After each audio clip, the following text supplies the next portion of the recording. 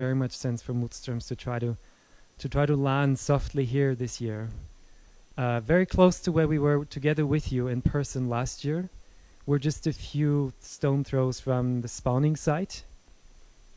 Ah. I think you had a you had a glimpse today of some of the spawning that's going on there. Uh, I sent you something. I'm not sure if you had a chance to see it. But um, and Per Ingvar is here, and many, many dear friends are here. Frøydis is here as well. Um, a room full of, of dear friends, uh, new, new and old. And um, all evening, I've received words from people feeling, uh, giving expression that it's a bit like coming home to some. Uh, it's it, it's a bit like a family gathering, um, but in a sense without the nuisant ones. there's there's warmth here. There's fire. There's good food. Uh, uh, a friend, uh, Tadia, he'd been mushroom picking just before, and uh, he found heaps and heaps, and ended up sharing with all of us. Um, we've had offerings of song. We've had the offering of the conversation with stone by Katarina, which you've been very curious and excited about, David. Yeah. And um, yeah, and the honorary guests are in the river spawning. Though I do sometimes wonder who's who is guest to whom, or whether perhaps we we can be as much home in, in each other's presence and guests to each other just as well. Yes. And um, it's an immense joy to have you with us again today. Oh, it's delightful to be here. Um, I'm missing Arne as well, and how each time I would see him after having been uh, an ocean and half a continent apart, he would start punching me and boxing. Even when he was stuck in a wheelchair, he'd start boxing. Hi, right.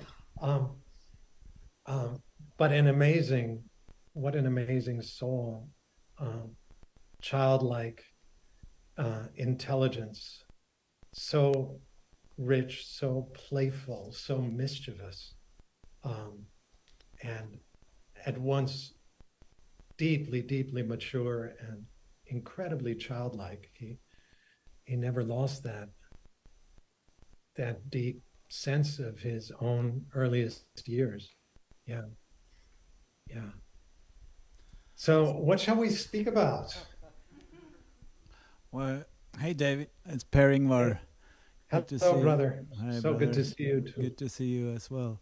So, I know that um, usually when we have this um, Zoom, you are uh, back home in your beautiful home, but you're now uh, in at Harvard. Is that the case? You're teaching, guest teaching there.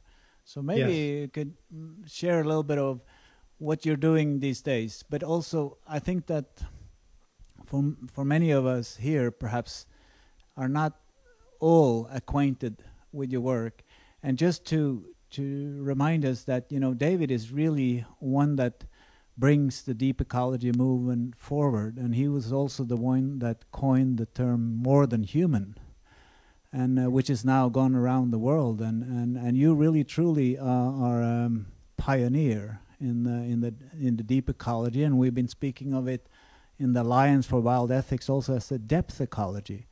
So I think that in a way, plus you're a magician, you're a hamskifter. You would be a noaidi or a Said in the in the Norse uh, cultures because you are truly a magician in how we could shift perspectives. So in a way, I think it's um, it'd be good to have a little bit of maybe a little bit of history how you came into this. Uh, through deep ecology and, and to depth ecology in a way, and maybe oh yeah, someone is calling you. Yeah, someone was calling me. Um, I don't know how to. Yeah, bring him in. So It's my son Leander. Uh, so oh, uh, there he is. Oh, give him uh, uh, my love. Yeah, but also just uh, you know, the spell of the sensuous is a, is a absolutely classic, which is an important, extremely important book, and also becoming animal.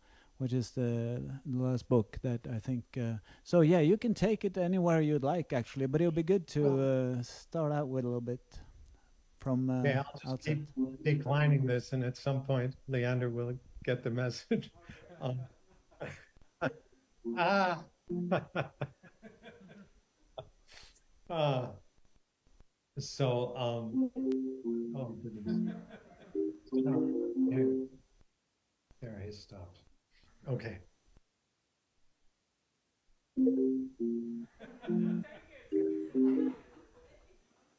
So, um, yeah, gosh, there's help, help, I'm being attacked through my computer. Um, so yeah, I um, what to say?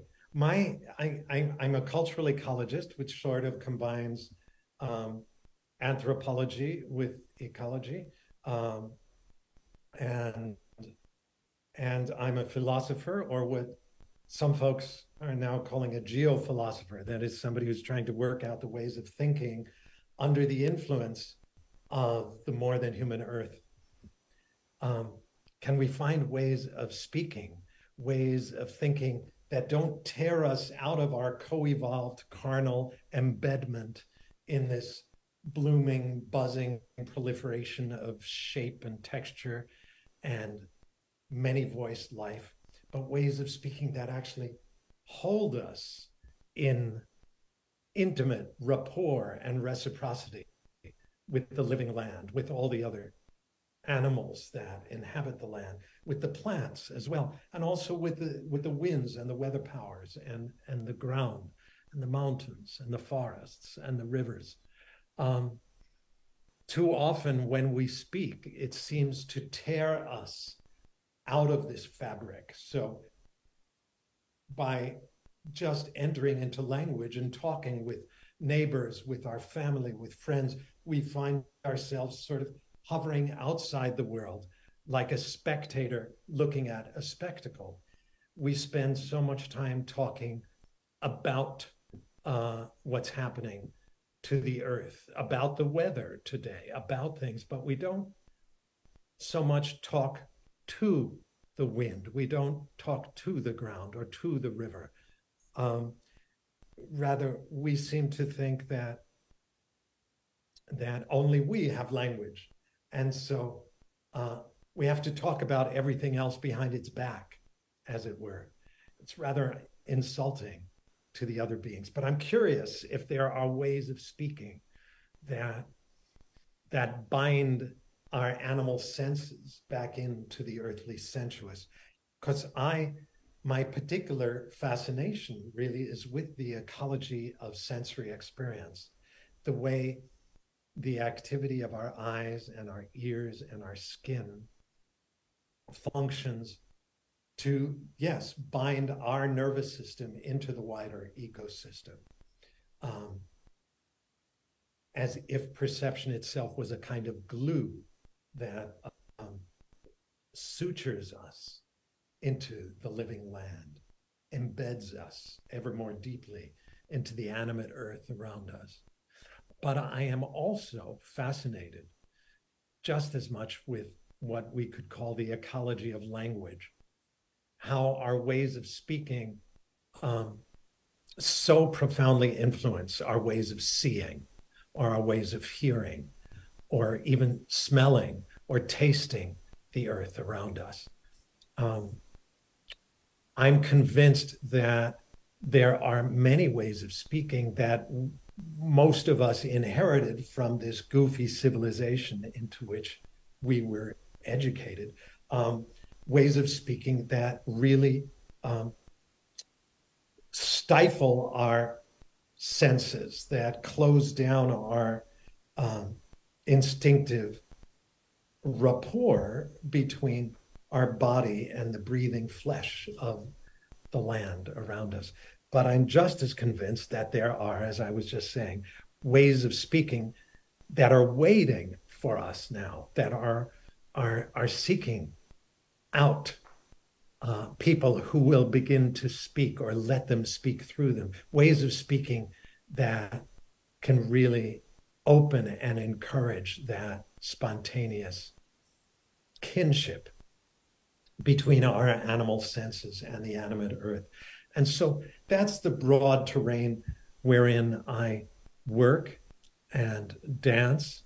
Um, Var, you mentioned, um, yeah, I'm teaching now at, at Harvard uh, just for the year for a visiting position, but it is startling um, to find my work uh, called upon and, and folks reaching out for me to teach here because when I published my first book, The Spell of the Sensuous, um, I got a lot of shit from the academic world. Um, it was hugely um, derided and um, um, uh, made fun of, as it were, because I was calling for a renewal, a resurgence of animism, um, that we needed to think uh, very deeply and, and really ponder the possibilities of animistic ways of speaking, ways of seeing. By the term animism, uh, I mean simply that old indigenous uh, intuition that everything is alive, that everything is alive. Us, yes, the other animals, sure, even the plants, of course, deeply alive, but even even whole forests, even the river has its sentience, its vitality, its its life, its intelligence. Even a dry riverbed is assumed to be alive by so many of our indigenous sisters and brothers and ancestors. Um, even the winds and the weather patterns, invisible though they are around us, these gusting winds themselves um, are felt to be animate, alive. So I was suggesting in that work that that this is a terribly important way of experiencing the world. It is our most ancestral, most basic sort of baseline for the human species was to was to assume and allow that everything is animate, that everything moves. It's just that some things move a lot slower than other things, like the walls of this room where I sit, or the room where you guys are sitting, or the ground underneath the foundations of that building. It moves very slowly, but it still moves. It's still animate. It's still alive. Um, and although this uh, insistence I had that we needed to really resuscitate this very old way of seeing and of speaking, although this was derided and um, made fun of by uh, the academic world for for years, it's now um, spread all over the place and is being taught in many many disciplines within uh, the academy, and um, there's so much burgeoning interest in it, even here at Harvard University, that I'm asked to please come and teach um, and uh, speak and and um, and and open rich discussions on these matters. And so my tomorrow i'll be taking out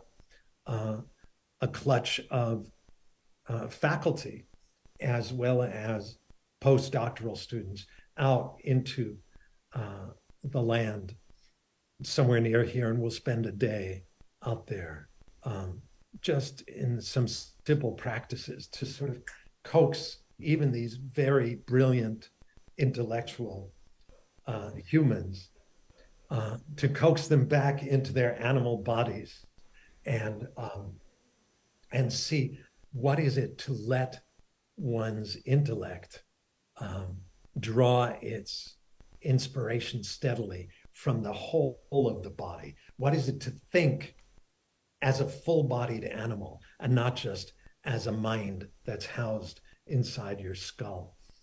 So there's a few thoughts just to open the conversation. Oh, thank you. Fantastic. You know, I, I was thinking we could also uh, open it for a question, but what I what I want to tell you is um, a little bit of some of the themes that we have in this uh, conference or this uh, festival. And one right. one theme is, and you may you know comment on it, but there well there are many themes. Uh, one is of course the storytelling, but also the expressions of these deep felt connection without words, you know, through art and and through dance and movement and other forms of expression, which I think is is uh, very promising. It, it, really we had a fantastic performance here just a little while ago, and and, and just it, it it was so precise. It couldn't have been spoken more precise in some sense. It's that that mm. kind of connection is wonderful. So that's one area, and then the other area I think is we're we're searching for. Um, a sense of connection between the individual everyday practices of reconnecting or or, or re-enchanting the world with also a sense of community. So what what what is the what is the way of community? Or how do we really um, speak to the communities that we live which is a more than human community? What are these multi-species neighborhoods that we are? How can we really work with that in some sense. So that's another theme. And then I think, I guess a third is this eco sorrow, the, the notion of eco sorrow or grief, you know, the, the ecological grief we'll be discussing and talking and sharing of tomorrow.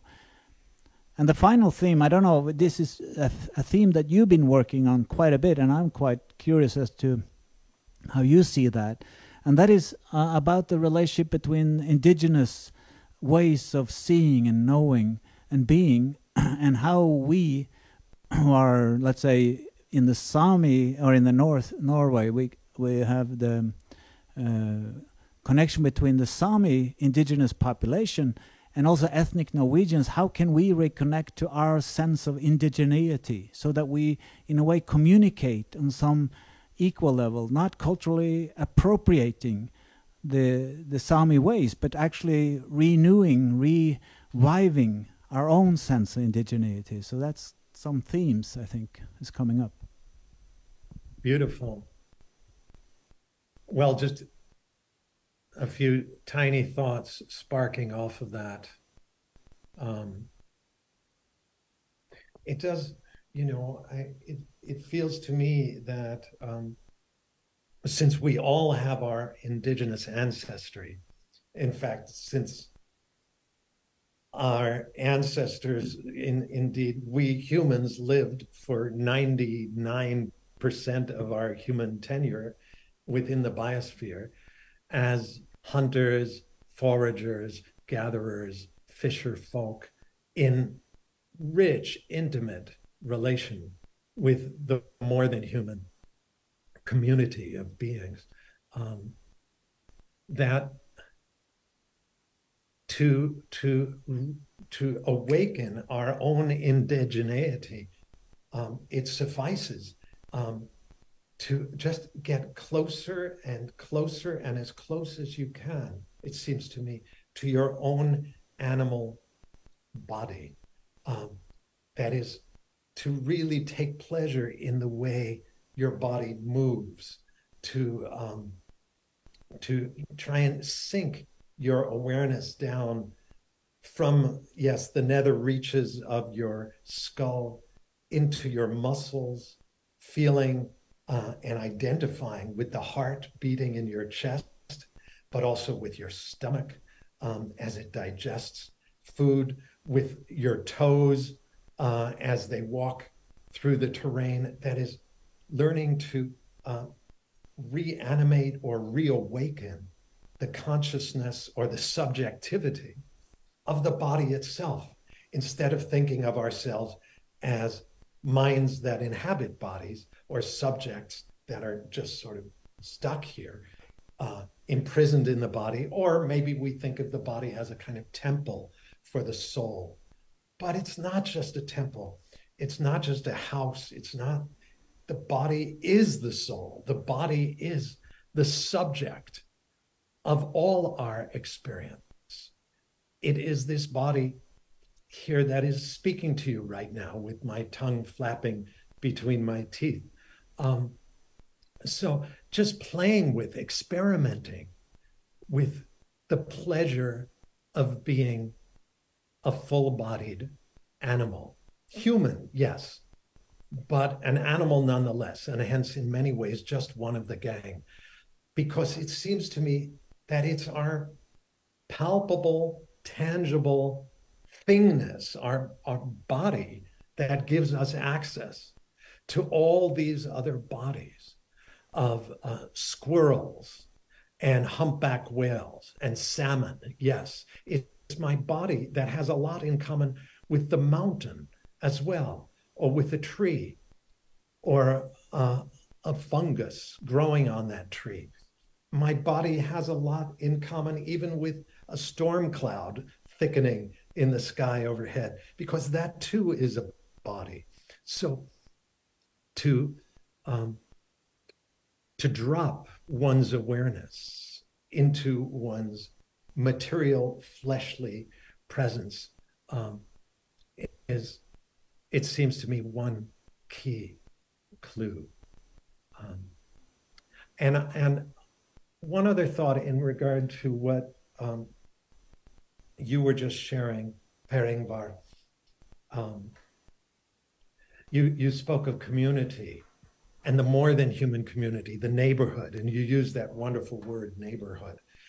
There is, and I'm sure this is ridiculously obvious to all of you, um, but, uh, and still, um, it bears saying that place and a sense of the locale and a sort of renewed awareness of the power of one's place on the earth and what that region, that valley, that watershed there near the banks of the Aker River, um, what its particular styles are that are different from any other place, even within that continent where you guys are situated, um, and how very different it is from here, where I am now, or from the high desert of New Mexico, where I normally live with my family,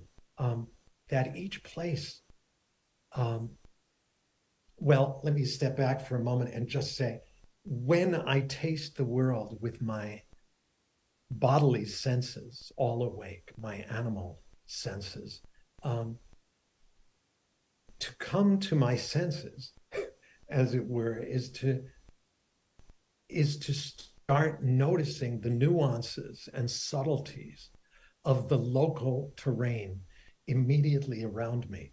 The sensuous world is not what's happening on the other side of the continent right now. It's not what's happening in uh, China. It's not what's going on in the Middle East, even though I'm very concerned with events unfurling right now in Israel.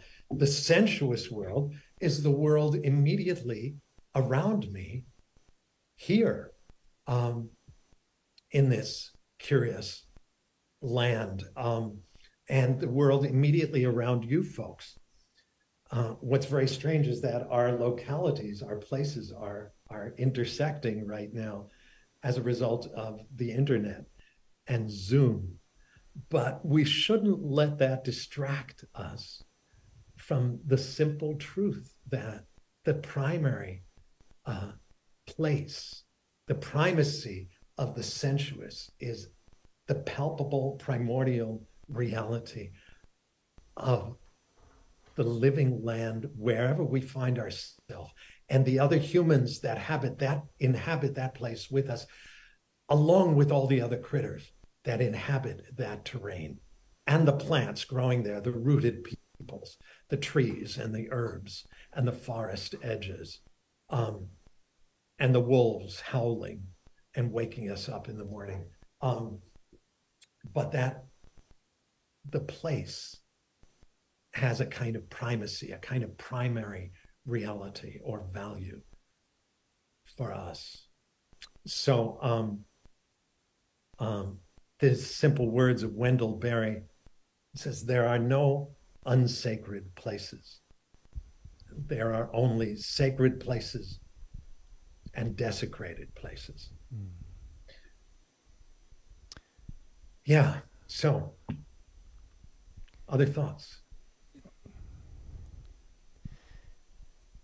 Too many, and perhaps some just need to be breathed through. Um, I can't hear you, Brother Martin. Perhaps I'll just speak a bit louder, David. Um, Robin Wall Kimmerer, of course, you know, she asks this question that is, can you hear me?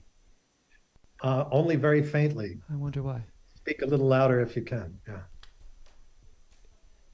If I speak into the computer, will you hear me better then? Or? That's much clearer. Yes. Maybe, maybe this is the the microphone. So this this will be the seat for question asking then, perhaps. Or, or, or you can just take the microphone and start to eat it, like put it inside your mouth, and I'll probably hear it.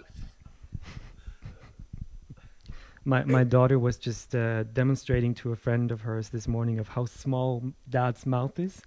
So I don't I don't I don't think eating a oh look at it it's it's so it's so interesting you should check it out Papa show you mouth. Um, you know Robin Wall Kimmerer she asked this question about how in this time of ours can we really really perceive of this world as, as being a gift in the in an existential sense again? And connecting to what you speak about also how can we have an experiential knowledge again of the world as sacred?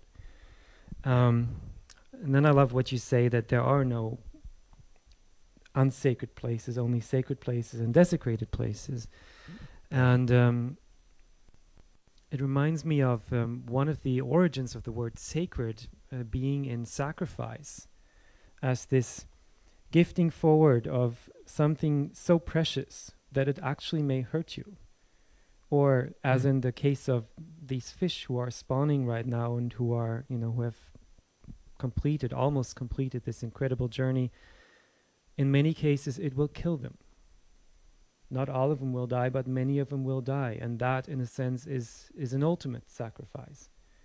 It's yeah. a way in which, through the simple act of living out the arch of their lives, they embody the sacred. And they bring this quality of the sacred right here into our midst. And are, in a sense, posing in their actions, in their gestures, a question to how will we reciprocate that ultimate gift as human animals, as two legged, weirdly naked, um, animals who would shiver to death if we didn't, you know, cover ourselves with the hides of other animals or, or with plants or with the fibers of plants. Mm. But um, that's a, a big question that perhaps you could also reflect a little bit about with us, David, of what are acts of reciprocating the sacred gifts of these bodies in the land who are living out their arches? What are human expressions to weave ourselves back into this commonwealth, into this neighborhood. I love the folky sound of uh, the, the, neighborhood of, of kin mm. that you brought in, Petting. Yeah, just that. Well, surely one secret to um, feeling the world once again as a gift. And its many, many gifts, is to be offering your own gifts back to the world. In fact, um, we speak, at least in English, uh, I don't know if it's true in Norwegian, but in English, we say that uh, a person who has a particular talent or skill um, is gifted. Uh, she's been gifted uh, or she's a gifted musician, or he's a very gifted painter. But um, it is sort of the deep teaching of one's gifts, of being gifted, is that you have to give your gift. Otherwise, it gets stuck and begins to make you sick. if you're not giving of your gifts, whatever they are, you know. Um, and it doesn't have to be something that you are so incredibly talented at, but just that you're like the salmon, being generous with um, with what you can offer, with what you can bring forth. And in fact, every person is multiply gifted. Um, but if you have and know that you've got a gift for art, for, for music, um, for storytelling, for poetry, then it's been one of the goofs of our era that um, that you didn't feel like you could just give it to the world. You felt, and too many people around me here feel like they have to sell their gifts. You have to, um, if you've got a particular talent, um, then you must make money at it, um, which of course impedes and interferes with the simple gesture of offering to the world um, of your gift.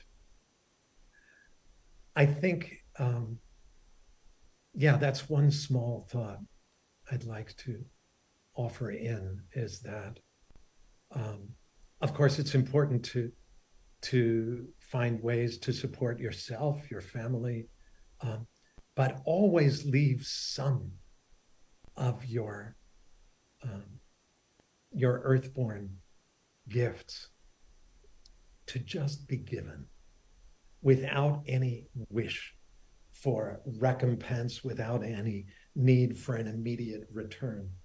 Because um, that is something, um, that's what makes community.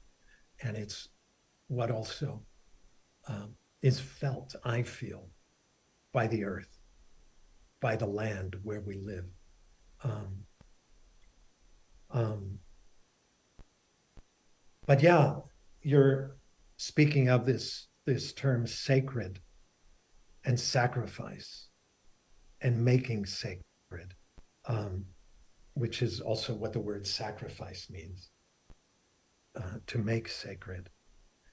And um, but yeah, I hear that phrase from Wendell Berry there are no unsacred places, there are only sacred places and desecrated places. So it's really a question of how is it that we've managed to desecrate so much of our world um, or to uh, frame the world in such a way that we're not experience, experiencing its utter, innate, you know, inexhaustible weirdness and wonder and bodacious magic at every turn.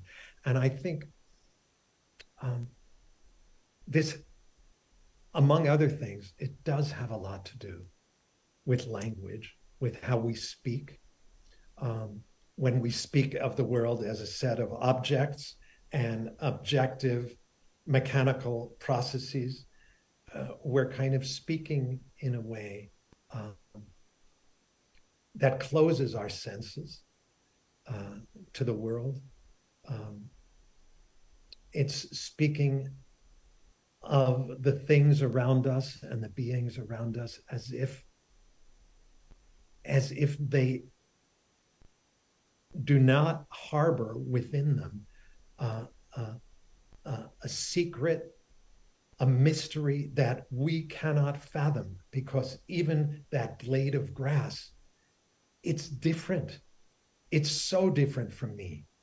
I mean, it's a plant for one thing. It eats sunlight, which is mighty different from my ways of drawing energy.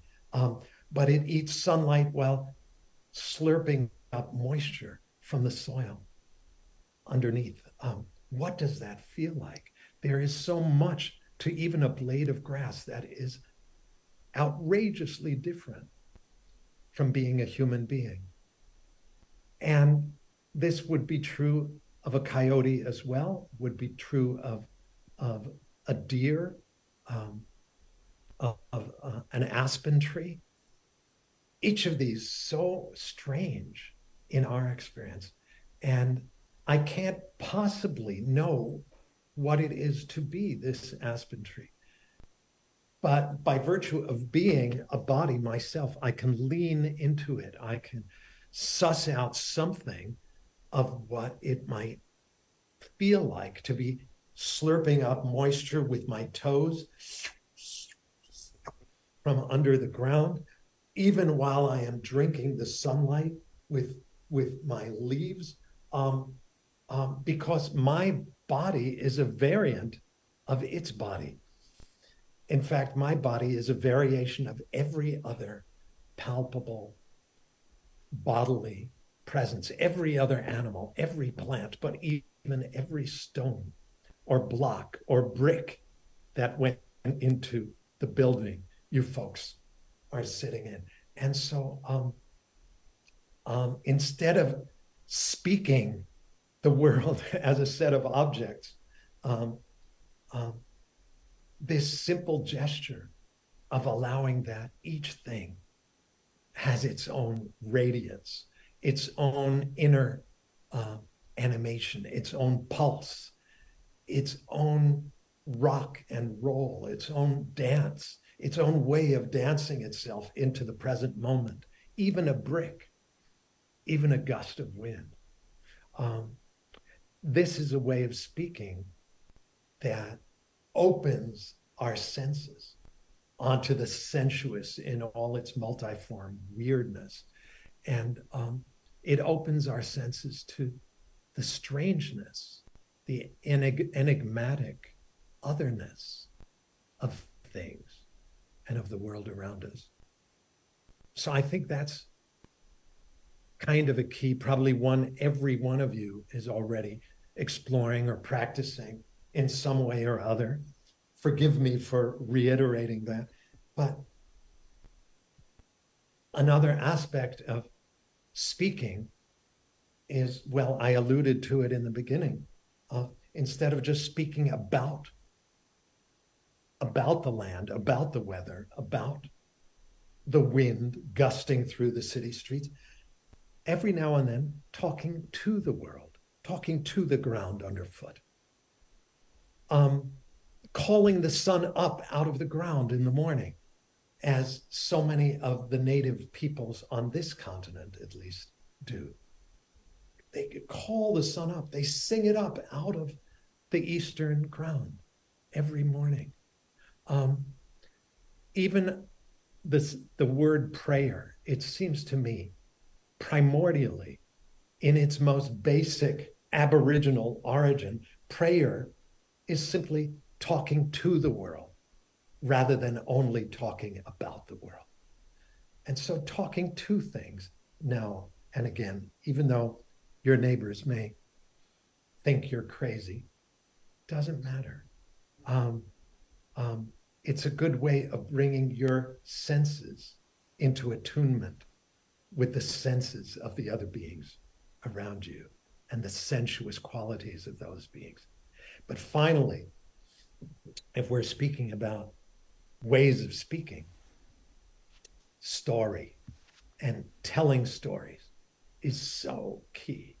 And um, I'm sure you've had some stories already uh, being told there at this gathering, and I'm sure there'll be more through the weekend. Um, but um, just the importance of storytelling um, and of sharing story, not just reading stories from books, uh, stories that we've written down and carry in books, but putting the books aside now and then and improvising a story with the whole of your animal body, telling a story in place. In fact, pulling your kids uh, out of doors and weaving a story about about you know just what happens inside that forest edge every full moon over there or here at the edge of, of the river. Um, what do you think the river itself is feeling like? And when the fish return to its waters, um, telling stories, not just reading stories, but telling stories with our whole body. Because when we read a tale, no other animal gets to participate in the story, and no other animal hears the telling and, and can, can read the words on the page. But when you tell a story with your whole flesh, well, birds swooping past can enter right into the telling of the tale. And a coyote or a squirrel who is just crossing nearby hears something of that voice. And if you're telling the story well, the squirrel may get really interested and hop closer. Um, and even the trees and the trunks of the trees hear some of the dark earth tones in your telling if you let your, your voice sink low now and then. Telling stories, too, is a way of binding ourselves back into the land, but especially telling place based stories, stories that live in particular places at this bend in the river or just at that spawning place where the salmon return to every year, storying up the terrain, telling stories out of doors with our whole bodies and gathering people for the telling in the right time of year, storying up the land. There's no restoring the earth without restoring the earth, without restoring the earth. So for me, that is and remains one of the most crucial and potent and yet very playful ways of reenchantment is rejuvenate oral culture, rejuvenate uh, the culture of face to face and face to place storytelling out in the land or even there in this good place, honoring Arne um, but feeling the whole more than human place around you and the moon's gaze upon the roof and the winds as they lick the walls of that place and bringing them into the stories you share there. Hmm. I hope I'm making some kind of goofy sense.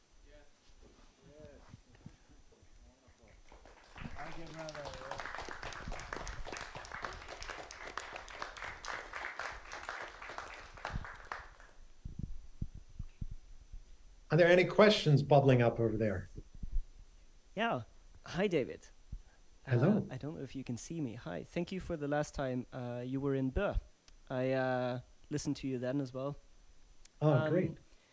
I, I was actually going to ask you about the importance of stories and the importance of fiction because I know you're a storyteller and you're an author. Um, and you already have talked about that, but um, maybe you can tell us what you think about the importance of fiction, not just in um, sort of reigniting or reimagining an animistic worldview, but also in conceptualizing a future in which it's a bigger part of all of our lives and a bigger part of our society. Uh, and also, I want to challenge you on uh, do you think written fiction also has a, a place there, a value there? Thank you. Oh, that's great. That's great. Um, I I like the challenge, um, and I'm excited that you feel that there's an important place for um, story writing as well, and of course there is, and um,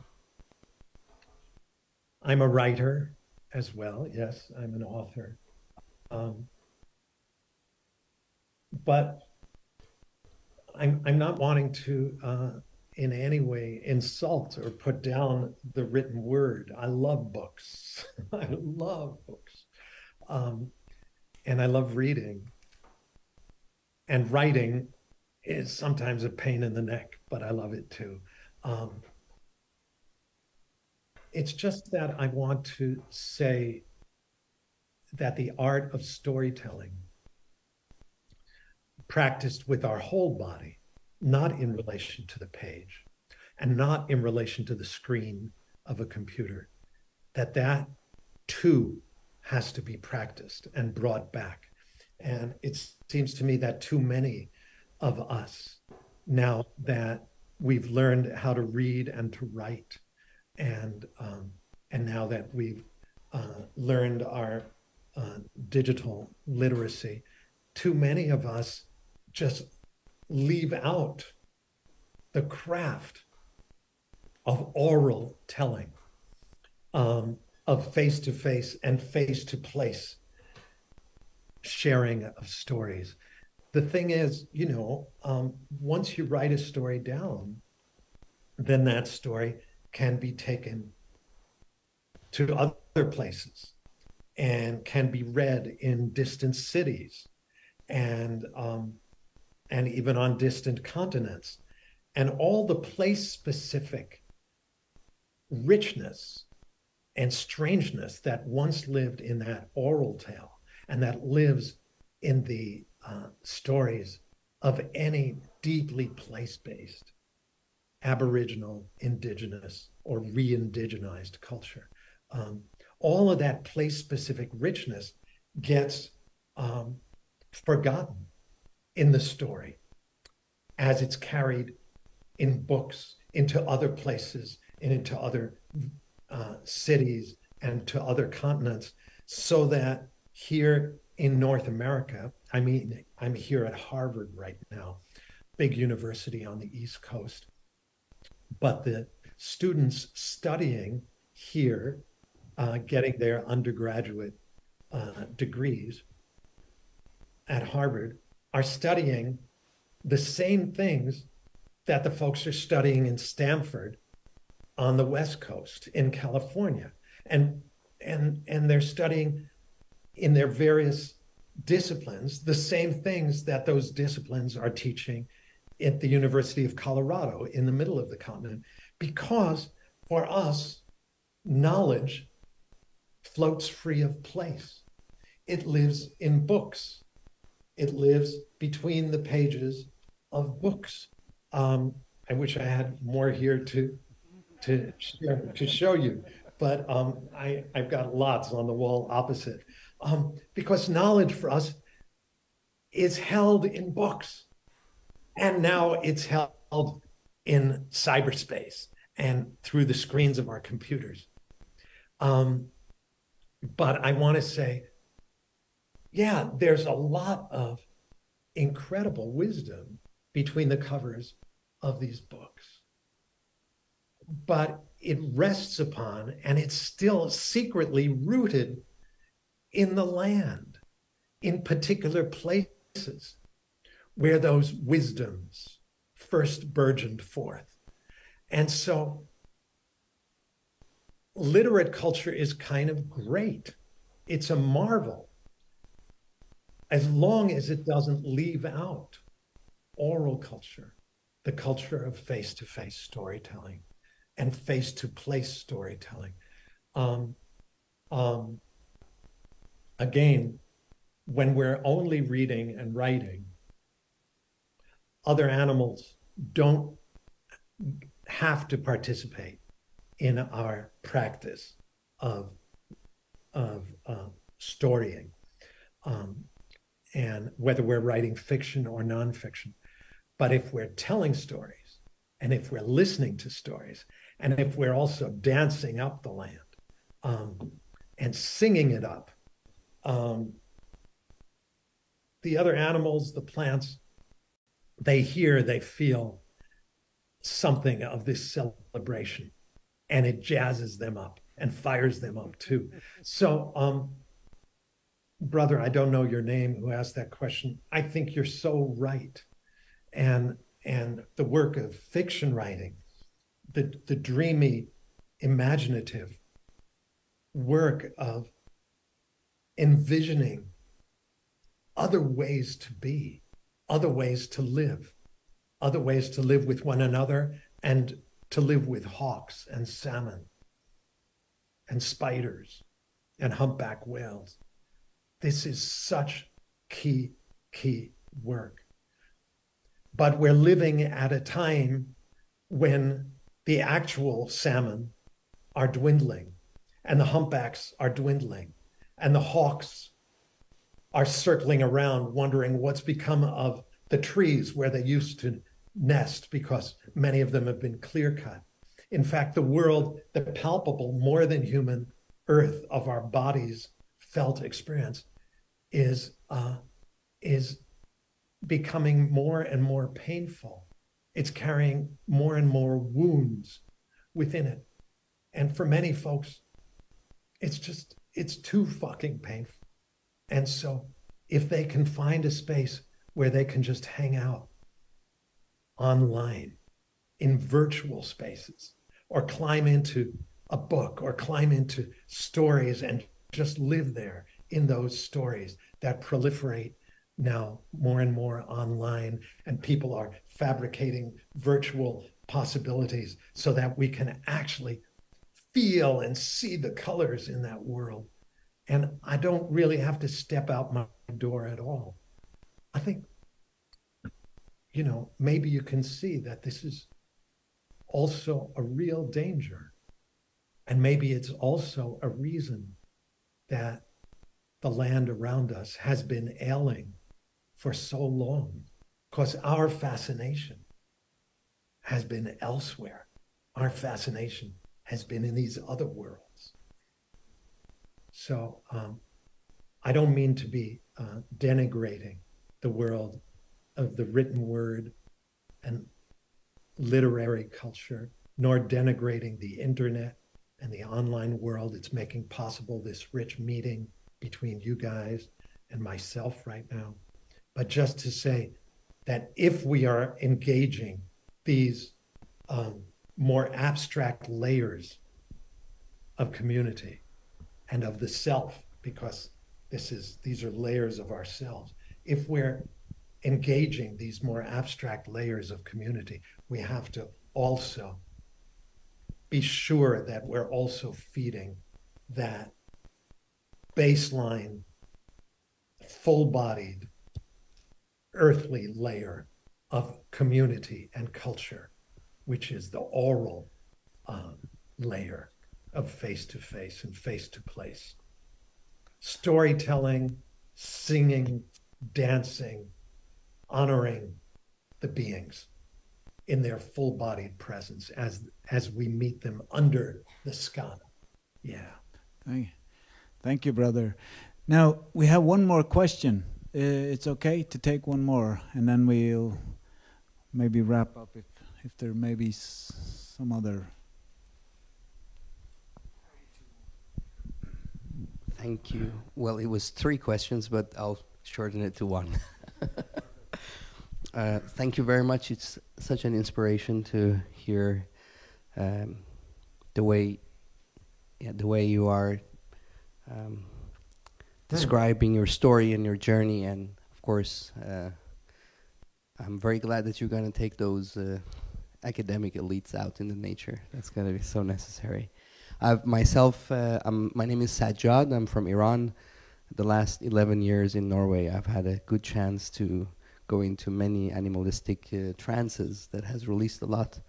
And I have really come close into this direct limits and constraints that language has in order to describe uh, the experiences that one experiences in a trance. So, in some moment of creativity, I saw that how in the deep grammar of language we have struggles because in most languages that I'm familiar with, we kind of distinguish between the subject and the object, and somehow the verb gets in the way. So I've kind of been working a little bit on a on a new grammar that focuses on the verb or the action or the the animation, the violence, the anger, the joy that runs through an animal or a body. And of course, mm -hmm. I need mm-hmm. all the help I can on that front, so I'll be reaching out to you. But for me, I have been seeing it most as part of the ecofeminist movement. Uh, so I wonder, in what ways do you see uh, your discourse uh, converging with the ecofeminism that's uh, kind of roughly being organized in that term. In what ways do you find synergy with that? And then I'll drop the second question.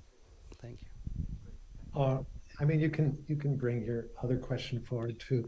Um, it does, or and and um, I just I I feel like I am in full convergence and solidarity um, with ecofeminism, with feminism itself, as long as we allow that the feminine is not just in the human, it is in so many species. Uh, um, and so that we are in solidarity with the women of every species and with the mothers who bear and bring forth life. In a sense, um, my strange emphasis, uh, you know, I've been leaning into here this evening, surprising me as well with it, actually. Um, I've not been speaking this way here very much, but surprising myself to hear how much emphasis I'm putting on the body and full bodied ways of um, storying and sensing and experiencing um, is to honor the materiality of our being. Um, not just the spirituality, but to let the spiritual richness of uh, one's life, of one's experience, be part and parcel of this material flesh. But you see, to, to honor matter is if you listen to the word matter with your animal ears, you notice it's the same word as mater, mother. In English, both derive from the old word matrix, which meant womb. And there's a sense in which matter is the womb of all things. Um, and so to becoming deeply into the sensuous, into the earth um, as a living presence is, uh, it seems to me, to be not just honoring, but to really be invoking, calling back, and opening a sense of the power and primacy of the feminine, of a world filled with goddesses as well as gods. And, um, and there's a sense that this earth is a wombish world. I hope that word is coming across um, uh, through your speaker, wombish, W O M B ish.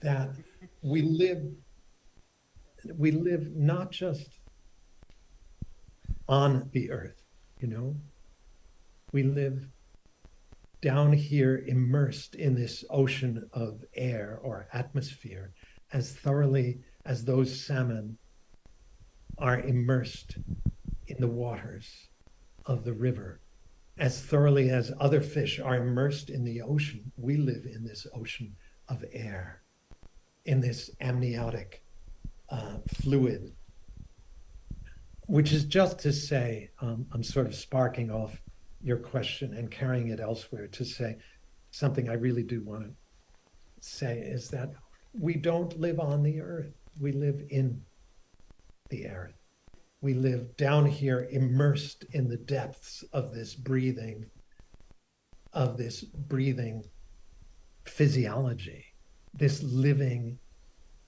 sphere, this immense spherical metabolism in which our individual bodies are all entangled and embedded. We don't, we don't live on, walk on the surface of the earth. Those clouds way up there. There, that's Earth up there. They accompany the Earth as it turns. We live down here in the deep of this Earth. That's also what, you know, my sense of deep ecology is about. or depth ecology, that we're in the depths of the ecology. We are in the depths of this nature that our sciences for too long have taught us to look at as if we were outside nature, as if we were hovering in a kind of disembodied God's eye view, hovering outside the earthly world, looking at it from outside. We're not outside, we're in it, inside it, and it's vast. And it's it's holy. It's massively sacred. But that's not to say it's it's uh, it's nice. it's it's it, it, it's fucking dangerous to be awake, to wake your senses up to the immensity and the immense mystery of this earth, who is, um, you know, she's wild. She's not sweet. she's a witch um, uh, who can be quite ruthless and often sacrifices us like this. Um, but she's very, very, very beautiful, this power. She or he or it, or however one characterizes this breathing mysterium, this vast, immense, spinning world, this whirling dervish of an earth that we all live within. Yeah. Thank you very much. Thank you, brother. And thank you so much for your gift to us. It's been true, truly a gift. And uh, we're very, very, you know, very deeply grateful that you took the time to be with us. And um, oh, of course, give me a break. Of course, I know, Anytime. I know, you love it. you, I mean, we could hang out here for hours. I know that. So no, no, I- no. It's really late there. I know that, Yeah. and I, I want to say I'm very grateful to you all for hanging out this late in the evening, and um, and to to be in some conversation and interplay with me. Thanks so much, and thank you, uh, Martin, for and and and Stina for being the um, uh, the wrestlers gathering this amazing gathering together to honor that place and to honor the salmon. And th- thank you so much to my wonderful brother Per Ingvar and Per Espen and all the other sisters and brothers there. Um, so have a most wonderful um, seasonal celebration of what really matters, not just us two leggeds, but all the mm-hmm. other wild creatures that we share this place with. Yeah. Thank you all. Thank you so much. Thank you. Thank you so much. Dave.